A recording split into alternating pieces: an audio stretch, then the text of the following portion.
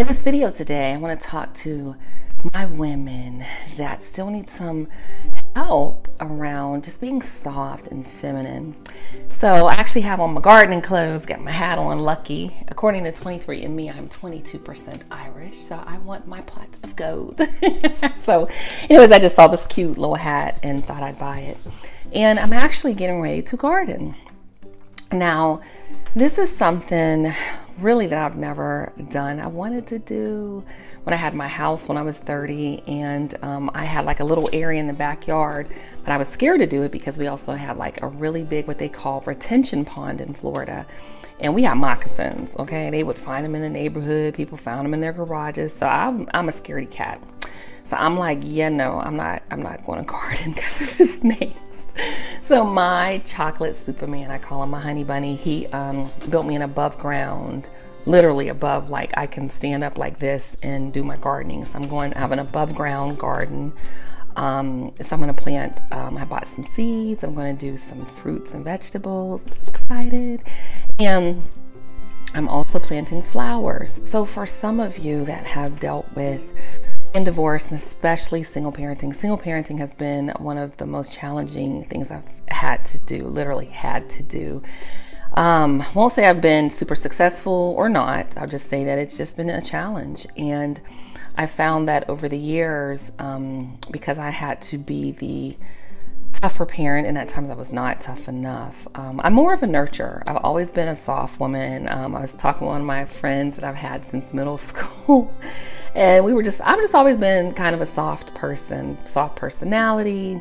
You know, I don't want to fight you. I don't want to argue with you. I don't want to be upset and angry. I just want to be, I just want to float through life like a little fairy. That's just me. I'm just a beautiful little flower.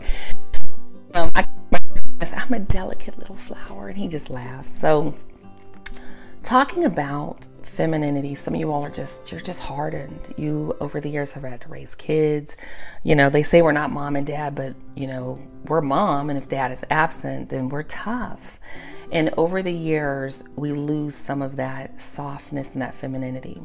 So I read a lot, as you all know. So this book, The Wild Woman's Way, is one that I highly recommend. And one of the things in there that she talked about was gardening and planting and caring for flowers. And I have plants in my office that I just, I really, I talk to them. I'm kind of that little weird plant whisperer.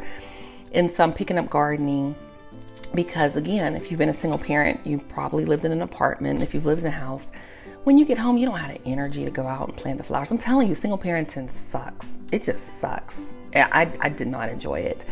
And you don't have the energy. So now I have more energy, I have more time.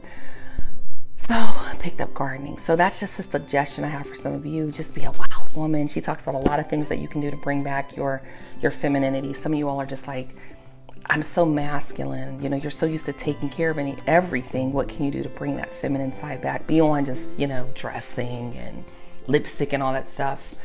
Garden.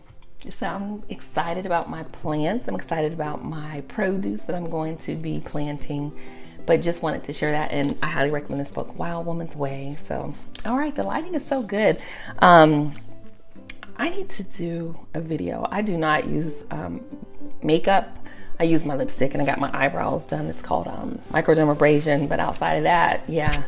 Oh, this sun just be feels so good. So anyways, let me know below if you are going to start gardening or planting produce and be that wild woman. So who's going to be the spark to ignite the conversation? I'll see you in the next video.